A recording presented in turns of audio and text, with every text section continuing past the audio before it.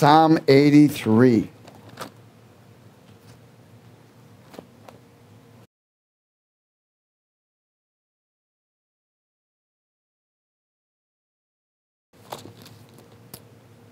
Victory in Jesus.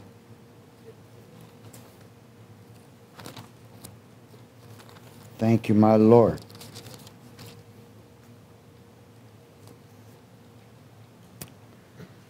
Is everybody there? Let's speak it together. Psalm 83. Do not keep silent, O God, and do not hold your peace, and do not be still, O God. For behold, your enemies make a tumult, and those who hate you have lifted up their head. You think God's talking about this right now? Amen. They have taken crafty counsel against your people and consulted together against your sheltered ones. They have come, they have said, Come and let us cut them off from being a nation. He's talking about this country and Israel. When God talks about Israel, he talks about U.S. too that the name of United States or Israel may be remembered no more. You got to remember right now there's a fight to dismantle the United States so that it becomes a global one world order under Satan's kingdom. That's what the battle is over. That's why for the last eight years over the Obamanite organization, it's been an antichrist organization, very corrupt. Unfortunately, there's too many believers that are still blinded to that right now. It's incredible because they've been taken captive in their minds under mind control by demonic spirits. And they have believed the lie. Hallelujah. Verse 5 For they have consulted together with one consent, they form a confederacy against you the tents of Edom and the Ish- Ishmaelites, Moab and Hagrites and Gebal, Ammon and Amalek and Philistia with its inhabitants of Tyre. Assyria also has joined with them. They have helped the children of Lot. And I want you to understand that every one of these nations or tribes or heritages, whatever, lineages, they all go back to the Nephilim race. Every one of them. Verse 9. And the Nephilim race still exists this day. It's called the Democratic Party. The Democratic Party. They're called globalists, one world order, the elites, the wealthy extremely wealthy. I'm not talking about a couple billion bucks. They own the banks, they own everything. They're under Satan's rule. They have sold their souls to the devil to become wealthy and famous. You know how many movie actors and musicians and rock and stars and rappers have sold their soul to the devil to become famous? Think about that. How many souls are going to hell unless they're rescued. Verse 9, he said, Deal with them as with Midian, as with Sisera, as with Jabin, as at the brook of Kishon, who perish at Adon, who became as a refuge on the earth. Make their nobles like Oreb and like Zeb. Yes, all of their princes like Zebah and Zumala who said, Let us take for ourselves the pastures of God for possession. Can you imagine that? See, they know the things about the kingdom of God. They know about the battle, but they're going to still try to take possession because the ruler of this earth is Satan. And because they serve the ruler of this earth, Satan, he blesses them with things of materialism as long as they commit wicked deeds corruption, destruction, so forth, murder. child molestations. As long as they do these things, they maintain a certain position. In fact, they called it the $30 million club, it starts off with. And then it goes up and up and up. The more bloodshed they promote, the more they go up. Verse 13 Oh my God, make them like the whirling dust, like the chaff before the wind. As the fires burns the woods, and as the flame sets the mountains on fire, so pursue them with your tempests and frighten them with your storm. Fill their faces with shame that they may seek your name, O Lord. Let them be confounded and dismayed forever. Yes, let them be put to shame and perish that they may know that you, whose name alone is the Lord, are the most high over all the earth. For it is written, for it is spoken, and so shall it be. And this is what is happening right now, starting with this election. Amen. This is what's happening. Now, what he's talking about right here is powerful because what he's setting up as a result, he's saying, Look at Lord, this is what's going on. And we want your will and your kingdom to be manifested on the earth so that your destiny can be fulfilled here. In other words, there's a result of destiny. And we're going to be talking about destiny. But tonight there's something specific called fulfilling your destiny. Fulfilling your destiny. But there's something vitally important before you can even fulfill your destiny. In John 14,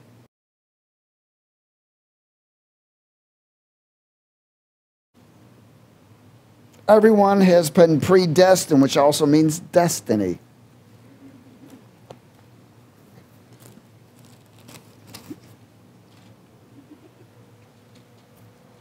Oh, happy days.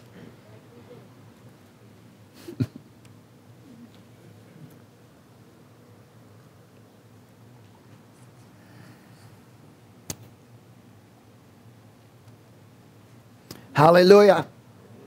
John 14, verse 1, let's speak it. Let not your heart, let not your heart, your heart, your heart be troubled. You believe in God, you follow God, believe also in me, Jesus says. In my Father's house are many mansions. If it were not so, I would have told you. I go to prepare a place for you. Is that part of destiny? Yes. yes. And if I go and prepare a place for you, I will come again and receive you to myself, that where I am, there you may also be. And where I go, you know, and the way you know. And Thomas said to the Lord, We don't know where you're going. How can we know the way? And Jesus said, I am the way, the truth, and the life. No one comes to the Father except for through me. So I want you to grab hold of something. He expresses something very important here. He says, Look, man, you got to protect, you got to make sure that your heart is right. That's the first thing he talks about. He said, Don't let your heart be shaken, basically. Just believe, just follow, just trust. I'm preparing your future, your destiny. I'm preparing this for you. He, but he says something very important. He says, Listen, I want you to know that your destiny is vital by your relationship with the Father. Has everybody got this? Your destiny is vital by your relationship with the Father.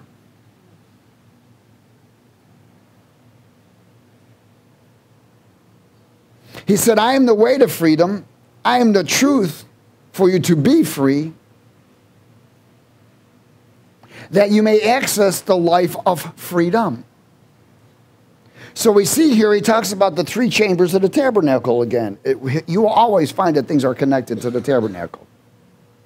The outer court, of course, is the way. The holy place is the truth. And the most holy place is the life. Jesus said, I am the way, the truth, and the life. Amen? So the third chamber is life. It is new life that is connected to the life giver. In this chamber, in the third chamber, is where new life exists. The first chamber is invitation.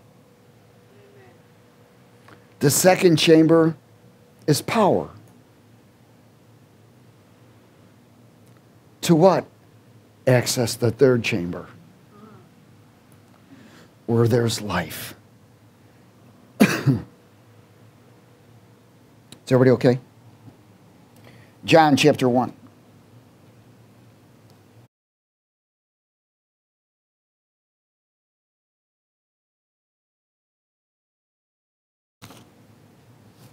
The Gospel of John, chapter 1.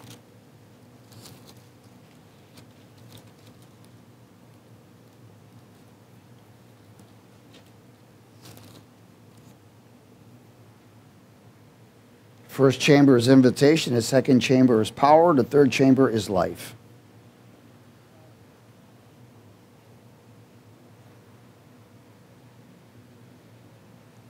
In verse 10.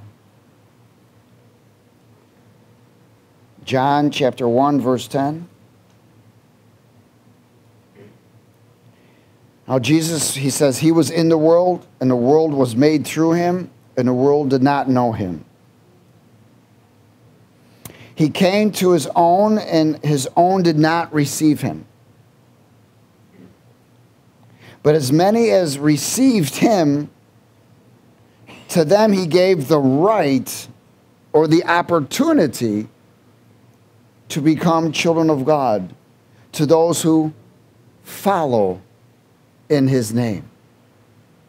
Amen. Who were born not of blood, nor of the will of the flesh, nor the will of man, but of God. In verse 14. And the Word became flesh and, and dwelt among us, and we beheld his glory, the glory of the only begotten of the Father, full of grace and truth. Those accepted Jesus as the Son of God, as Messiah and Savior, were accepted into his kingdom. They were born of the Spirit and begotten children or offsprings of God Almighty. Just like Jesus was the begotten of the Father. There's something vitally important because he said, when Jesus said, If you see me, you see the Father. Amen.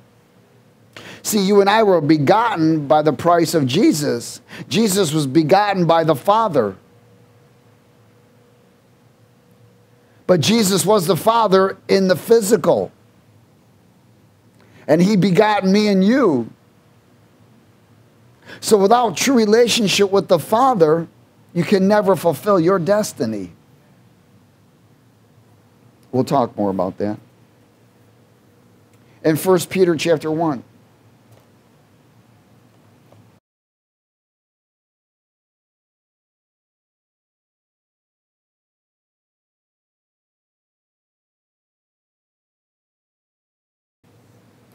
First Peter chapter 1 verse 3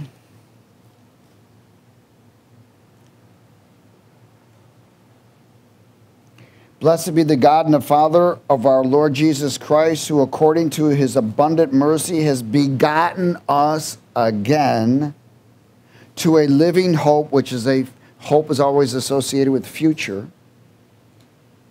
or destiny, to a living destiny through the resurrection of Jesus Christ from the dead, to an inheritance incorruptible and undefiled and that does not fade away, reserved in heaven for you, who are kept by the power of God through faith, through your connection, for salvation ready to be revealed in the last time or the last days.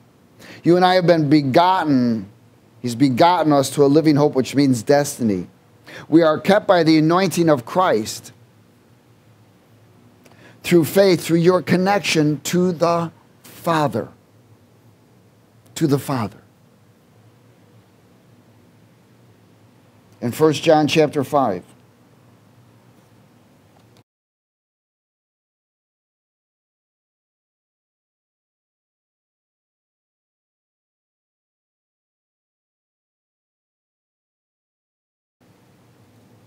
You are baptized in the Holy Spirit, it's not only a baptism of power, but it's a baptism to connect you to the Father that you may enter the third chamber and live as a father son, father daughter.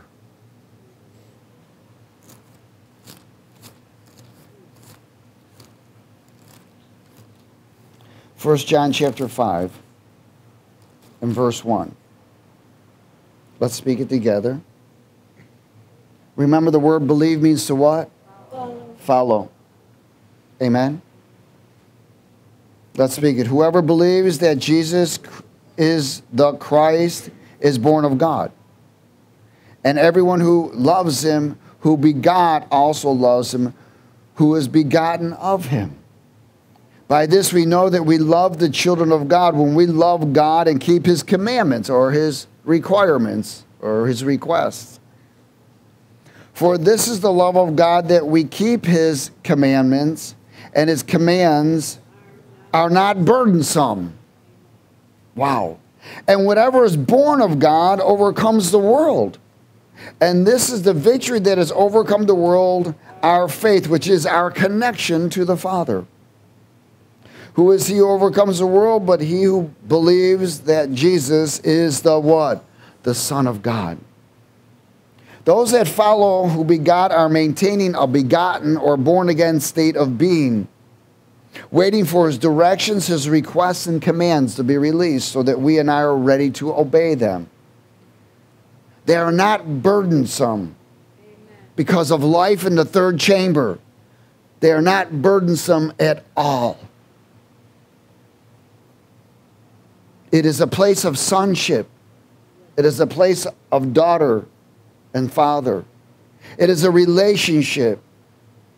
It's not God, it's not Savior, it's not provider, it's not healer. It is Father. Father. And that Father cries out in you all the time Father. Father.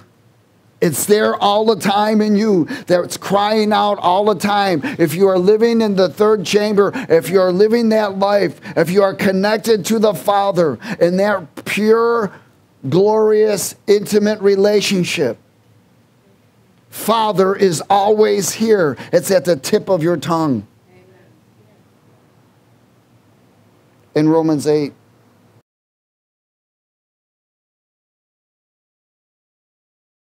is reality, it is not imagination.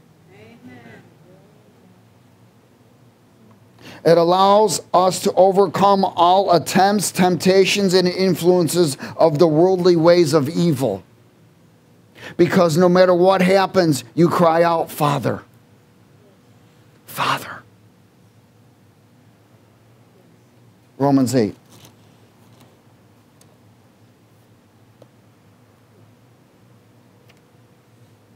In verse 28.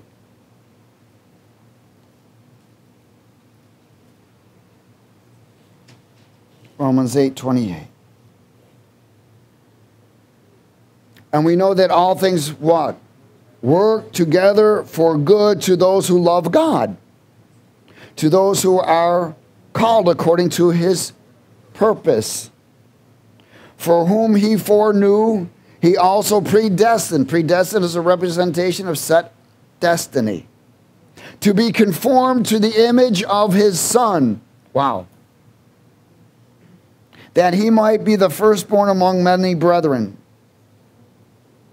To be conformed to the image of his son. To be conformed in the image of his son. In other words, his first requirement for me and you is to be called son or daughter in relationship where he is known as Father. Moreover, whom he predestined, these he also what? Called. Whom he called, these he also justified. And whom he justified, these he also glorified. Wow. What then shall we say to these things? If God is for us, who can be against us?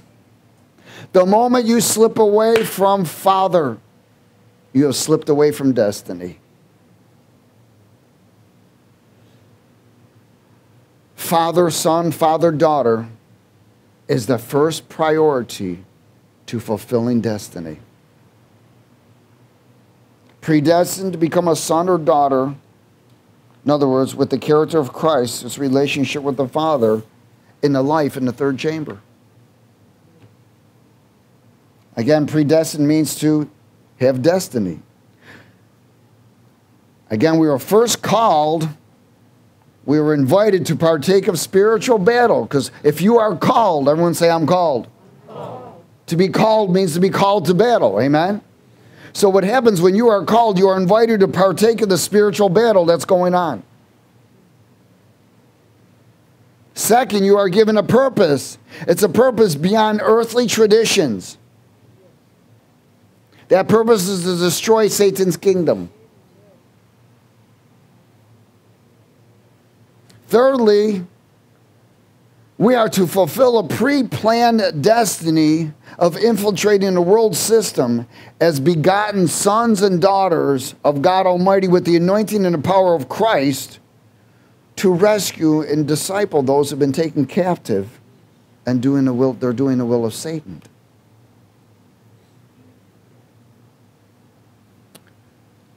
All right, I'll say it again. Third, to fulfill a pre planned destiny of infiltrating the world system. As begotten sons and daughters of God Almighty. With the anointing and the power of Christ to rescue and disciple those who've been taken captive to do the will of Satan.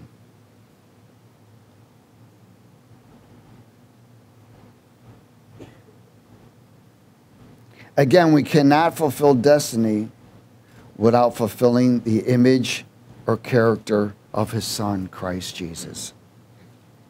As sons and daughters with relationship to the Father. You cannot fulfill, you will drift and slip away from destiny when you lose that relationship.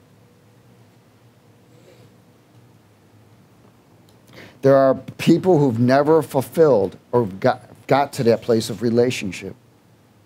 They've known him as Lord, Savior, Jesus, healer, deliverer, provider, friend. Remember, he called Judas friend too. But never father. There's never be, been a true relationship as a father. I can tell you in my first visitation from the Lord, that was the most revealing thing to me, more than anything, is that I met my Father. I met my Father, my true Father. See, when you truly know Him as Father, then you know you as, as daughter or son. That's your identity. Amen. It's not what you've done, who, what position you hold, or what talents or abilities, or what job you have. That's not your identity. Your identity is son or daughter of the Father of all things. Ephesians chapter 1.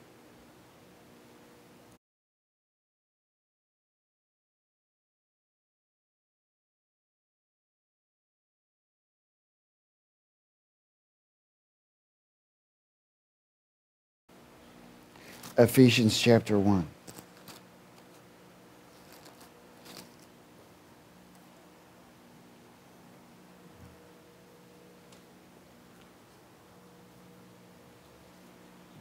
See, so when there's true worship, you're worshiping to press through to connect back to your Father. So that all of a sudden comes out of your mouth, Father, I know you're here, Dad. I know you're here. In verse 3, let's speak it. Blessed be the God and the Father of our Lord Jesus Christ, who has blessed us with every spiritual blessing in where? Heavenly places in Christ. just as he chose us in him before the foundations of the world, that we should be holy and without blame before him in love, having predestined us to the adoption as what? Sons by Jesus Christ to himself, according to the good pleasure of his will, to the praise of the glory of his grace or his plan, by which he made us accepted in the beloved. In him we have redemption through his blood, the forgiveness of sins according to the riches of his grace, which he made to abound toward us in all wisdom and prudence, having made known to us the mystery of his will, according to his good pleasure, which he purposed in himself, that in a dispensation of the fullness of times he might gather together in one all things in Christ, both which are in heaven and which are on earth, in him. In him also we have obtained an inheritance, being predestined according to the purpose of him who works all things according to the counsel of his will. That we who first trusted in Christ should be the praise of his glory. In him you also trusted after you heard the word of truth, the gospel of your salvation, in whom also, having believed, you were sealed with the Holy Spirit of promise who is the guarantee of our inheritance until the redemption of the purchase possession to the praise of his glory. You and I were blessed with an inheritance through the relationship as offspring, with spiritual blessing in heavenly places or eternal realm in Christ, Christ in you, and you in Christ. Connected to the Father hmm, and Jesus. Remember, that's why Jesus came and said, If you see me, you see the Father. Jesus' purpose and mission in life was to fulfill the will of the Father. Now we fulfill the will of the Father. That's why the word says we no longer acknowledge Jesus according to the flesh anymore. You know, I acknowledge Jesus as my Lord and Savior. He paid the price for me. We, then he left his name as a weapon. He left his name as power to destroy the works of the devil because he paid the price. But he sits next to the Father. He makes intercession for me and you. But after my visitation from the Lord, my relationship was with the Father. Because if I have a relationship with the Father, I have a relationship with Jesus. Amen? Who do you think the Holy Spirit is? He's the Spirit of the Father. So we were sealed with the Spirit of the Father so that you and I could have such an intimate, loving relationship as father, daughter, father, son. Again, there are individuals that have never reached that place. They only know Jesus is everything else but Father. Hallelujah. Ephesians 2, verse 14.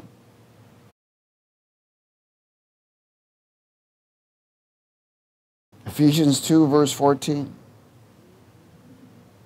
Let's speak it.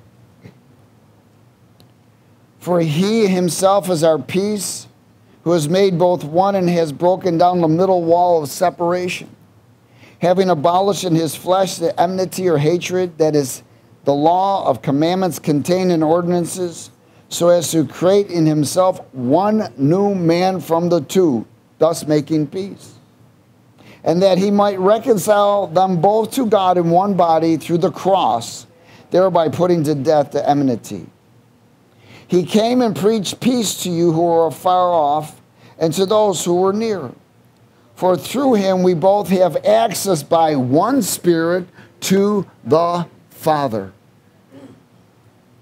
Now, therefore, you are no longer strangers, foreigners, but fellow citizens with the saints and members of the household of God, having been built on the foundation of the apostles and prophets, Jesus Christ himself being the chief cornerstone, in whom the whole building being fitted together grows into a holy temple in the Lord, in whom you also are being built together for a dwelling place of God in the Spirit. Wow.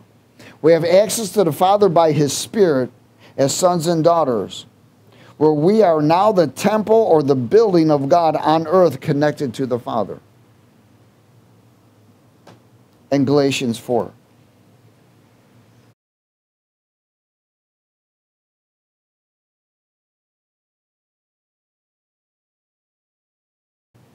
Galatians 4.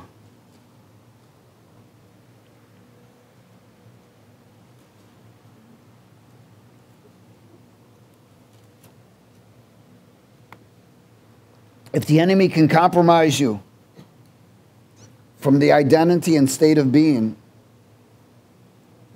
and cause you to drift from Father,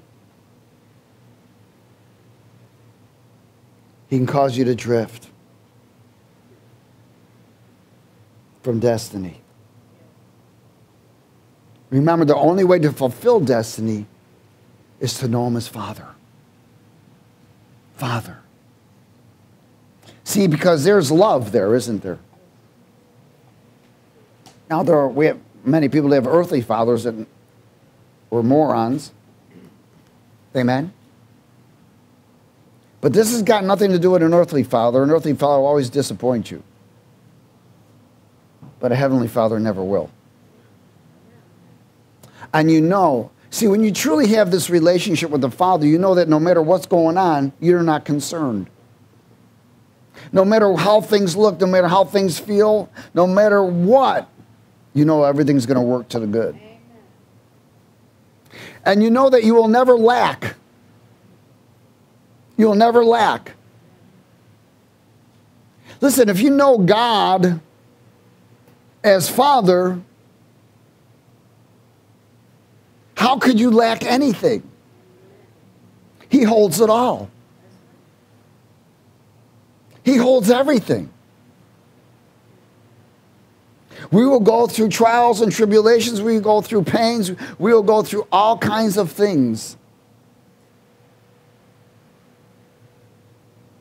The enemy will do whatever he can to try and get, disconnect us and drift us from that state in relationship of father and daughter. All kinds of things will occur in our life. Look what happened to Jesus. I don't think any one of our lives can compare to what they did to him and what he allowed them to do to him because his love for the Father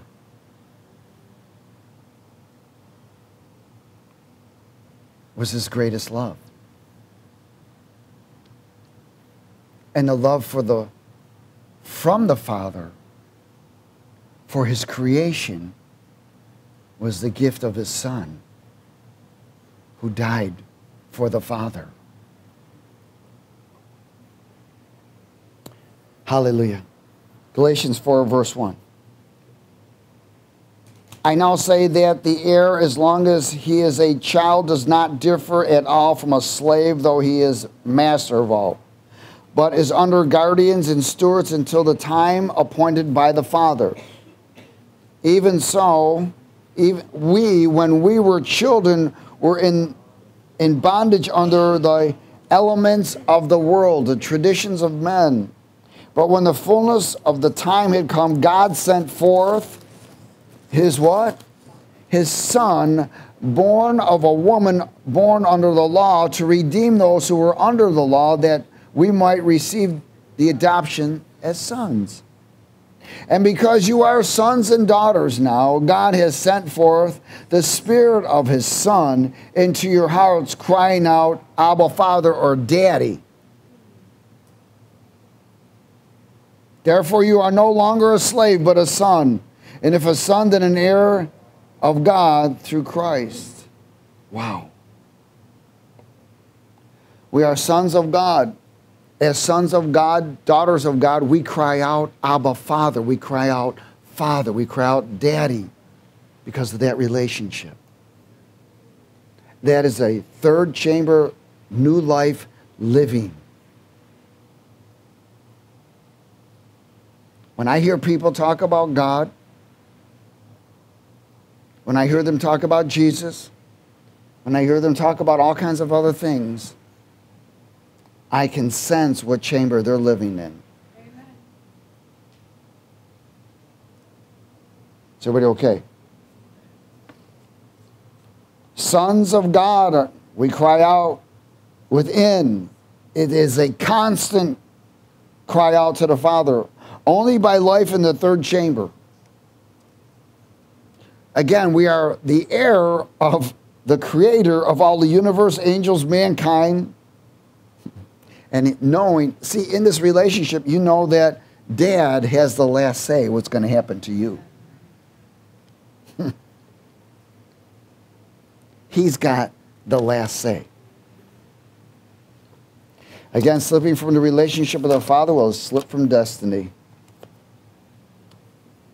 It is the first process of fulfilling destiny is to get that relationship.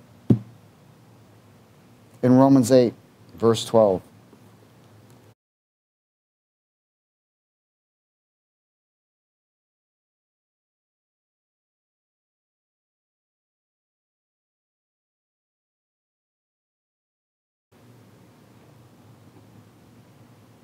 Oh, hallelujah.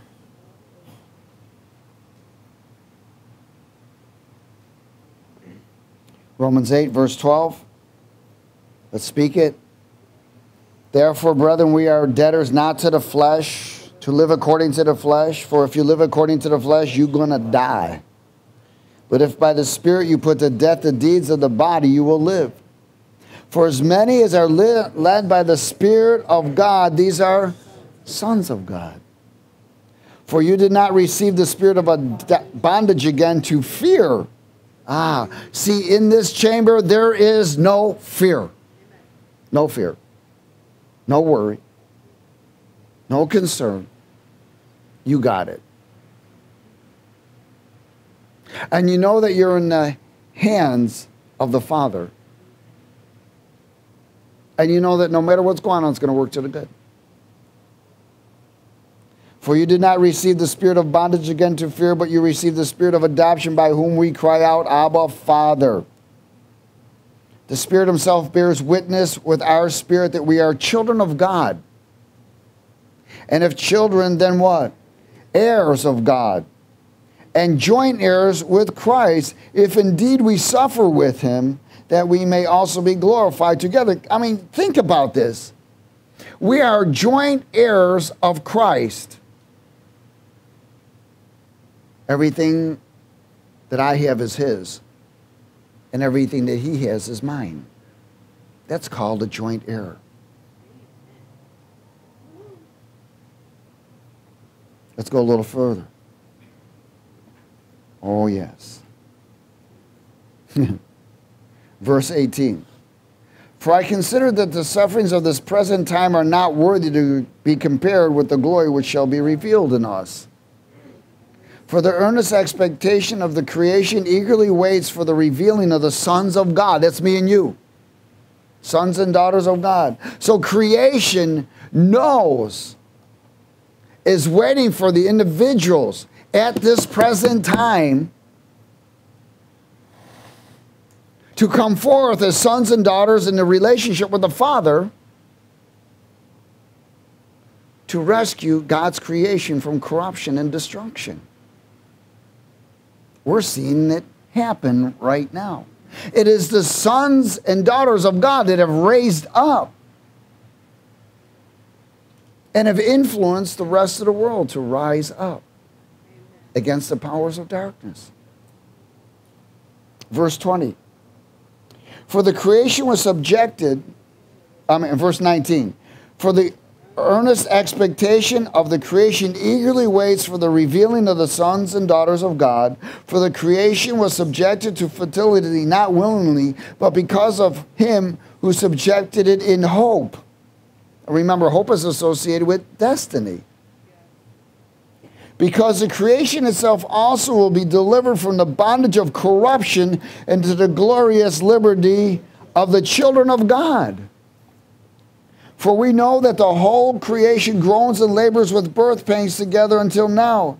Not only that, but we also, who have the first fruits of the Spirit, even we ourselves groan within ourselves, eagerly waiting for the adoption, the redemption of our body. In other words, our groaning is crying out, Father. For we were saved in this hope, but hope that is seen is not hope, for why does one still hope for what he sees? but if we hope for what we do not see, we eagerly wait for it with perseverance. Again, we are heirs and joint heirs.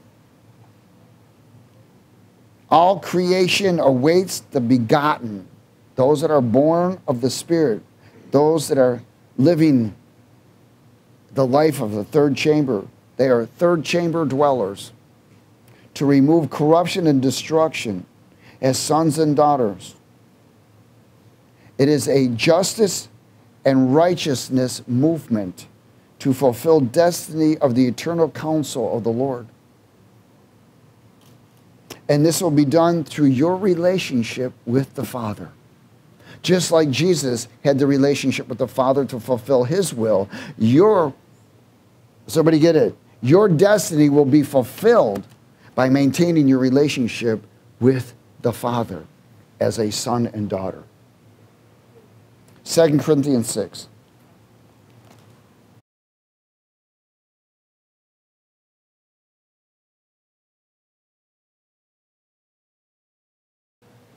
You do not build relationship by works.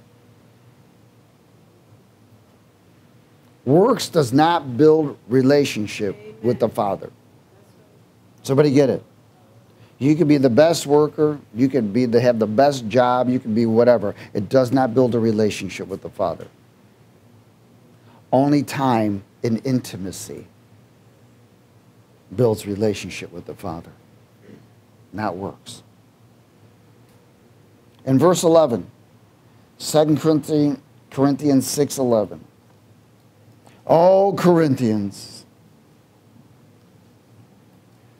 we have spoken openly to you. Our heart is wide open. You are not restricted by us, but you are restricted by your own affections. Now, in return for the same, I speak as to children. You also be open. Do not be unevenly yoked together with unbelievers. For what fellowship has righteousness with lawlessness, and what communion has light with darkness? And what accord has Christ with Belial? Or what part has a believer with an unbeliever? Or what agreement has a temple of God with an idol? For you are the temple of the living God, as God has said, I will dwell in them, I'll walk with them, I'll be their God, and they'll be my people if they do something. If they come out from among. If they come out from among if they come out from among what? Worldly. Worldly traditions. Religious traditions.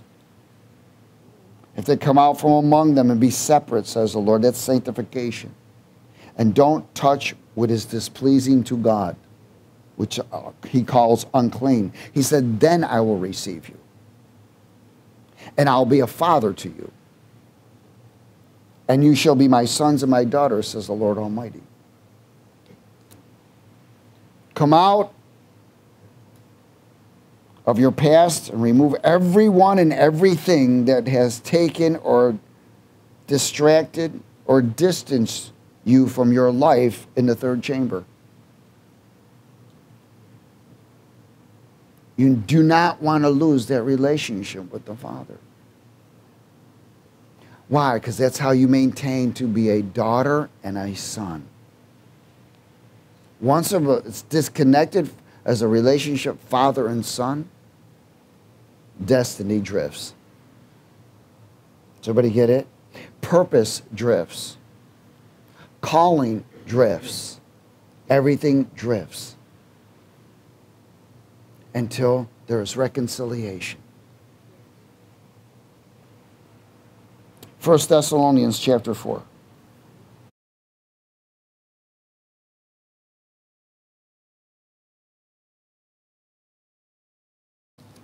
We'll start at verse 1, 1 Thessalonians chapter 4.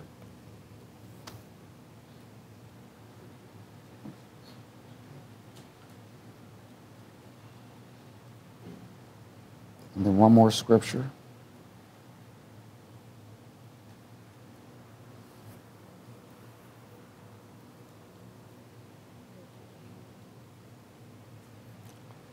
Let's speak at verse 1. Finally, then, brethren, we urge and exhort in the Lord Jesus that you should abound more and more, just as you receive from us how you ought to walk and to please God or your Father. For you know what commandments we gave you through the Lord Jesus. For this is the will of God, your what? Sanctification, your separation from the world that you should abstain from sexual immorality, that it, each of you should know how to possess his own vessel in sanctification and honor. Why? Because there's such a love relationship. This is not, I want to love you. This is not, I love you. It's, I'm in love with you. You are my love. You are my first love, and nothing else is going to interfere with that. Anything that tries to steal my first love from him must be removed from my life. Somebody understand? Oh, hallelujah. Let's go a little further. uh, let's start at verse 3 again. For this is the will of God, your sanctification, that you should abstain from sexual immorality, that each of you should know how to possess his own vessel in sanctification and honor, not in passion of lust, like the Gentiles who do not know God that no one should take advantage of and defraud his brother in this matter, because the Lord is the avenger of all such, as we also forewarned you and testified. For God did not call us to uncleanness, but in what? Holiness. Therefore, he who rejects this does not reject man, but God, who has also given us his Holy Spirit. When you see the word God there, you should look at it as Father. It should be Father to you. In this relationship, again, there is no worry. There is no fear in this place. You know, no matter what's going on, it's going to work to the good. Why? Because you are fulfilling destiny by maintaining the relationship with dad. And you know he's got the last say no matter what. No matter what's going on, he's got the last say. Matthew 6. He is God. Hello? There's nothing impossible. so your dad is God Almighty. What the heck's the problem? I mean, what's the problem? The problem is we have an enemy that tries to disconnect it.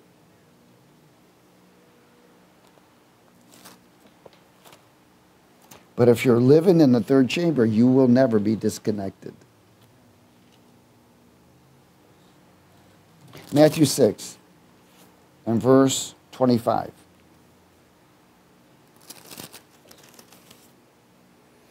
Because in that place, can't touch this.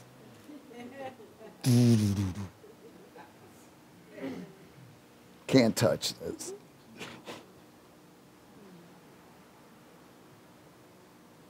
They're going to mess with you, they got to mess with dad first.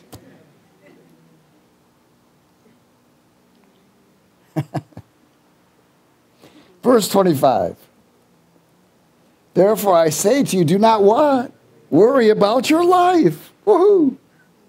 What you will eat or what you will drink, nor about your body, what you will put on. Is not life more than food and the body more than clothing? Now, I want you to understand that he's speaking about your new life in the third chamber. Look at the birds of the air, for they neither sow nor reap, nor gather into barns, yet your heavenly Father feeds them. Are you not of more value than they? So he's connecting this life in the third chamber with relationship with the Father. Which of you by worrying can add one cubit of his stature? So why do you worry about clothing? Considering the lilies of the field, how they grow, They neither toil nor spin. And yet I say to you that even Solomon in all of his glory was not arrayed like one of these. Now, if God, who so clothes the grass of the field, which today is and tomorrow is thrown into the oven, will he not much more clothe you, O you little faith? Therefore, do not worry, saying, What shall we eat, or what shall we drink, or what shall we wear? For after all these things the Gentiles seek, for your Father, for your heavenly Father knows that you need all these things. He knows what you need. So you don't worry, it's coming. But seek first the what? The kingdom of God and his righteousness, and all these things will be added to you. Therefore, do not worry about tomorrow, for tomorrow will worry about its own things. Sufficient for the day is its own trouble. No worry, because he is Father, fulfilling, fulfiller, fulfillment and everything else. That's why Jesus came and said, If you see me, you see the Father. Again, this is the first, most important process of fulfilling your destiny is maintaining a father daughter, father son relationship when it begins to drift or disconnected, so does everything else. Amen? Praise God. Father, we are honored and grateful for your word and your message and your prophetic release. And I'm asking, Dad, that you'd reconnect your people in every area. For there are many who have been disconnected from their Father. We ask, Lord, out of your mercies and grace, that you'd reveal yourself more and more to your people as daddy, as friend, as hope, and as destiny. For you are the only fulfiller. Restore us all, Lord, to our first love, you. And bring your glory, your kingdom, and your power in us and through us, that we may express you in everything we do and bring glory to the name of Jesus. In Jesus' name. Everybody said amen. amen. Hallelujah. Be blessed and stay dressed with the glory of the Father.